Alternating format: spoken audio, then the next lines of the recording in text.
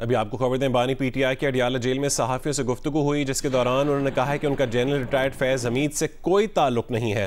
बानी पीटीआई ने कहा कि अगर फ़ौज जनरल रिटायर्ड फैज़ हमीद का एहतसाब करना चाहती है तो करे, उनका जनरल रिटायर्ड फैज़ हमीद से कोई लेना देना नहीं है। मजीद तफसील जानेंगे जी यूनिस के नुमाइंदे शब्बीर डार से। शब्बीर डार, मजीद क्या कहा गुफ्तु में?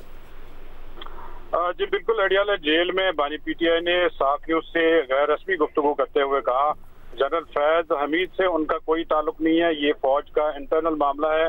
फौज अगर इंटरनल अकाउंटेबिलिटी करना चाहती है तो ज़रूर करे। बानी पीटीआई ने कहा, वज़ीर दफ़ा ख्वाजा आसफ ने कहा है, जनरल फैज का नौ मई के साथ बर रास्त ताल्लुक है। मैं कह रहा हूँ, अगर जनरल फैज का 9 मई के वाकत से कोई ताल्लुक है या कोई किरदार है तो इसकी तहकीकात होनी चाहिए और जुडिशल कमीशन के ज़रिए सारे सबूत सामने लाए जाए। बाने पीटीआई ने कहा, वो अपने दौरे हुकूमत में जनरल फैज को बतौरे D G I S I नहीं हटाना चाहते थे, क्योंकि अफ़गानिस्तान और तालिबान का मसला दरपेश था।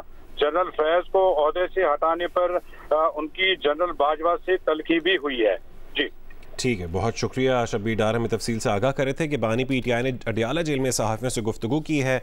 गुफ्तु के दौरान उन्होंने कहा है कि उनका जनरल रिटायर्ड फैज़ हमीद से कोई ताल्लुक नहीं है। बानी पीटीआई ने यह भी कहा है कि अगर फ़ौज जनरल रिटायर्ड फैज़ हमीद का एहतसाब करना चाहती है तो करे।